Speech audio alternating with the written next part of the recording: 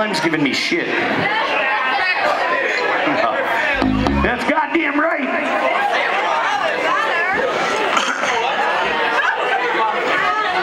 You must be on the Sicilian side of my family, Clem. We go back, baby. yes, we do. All the way to Sicily.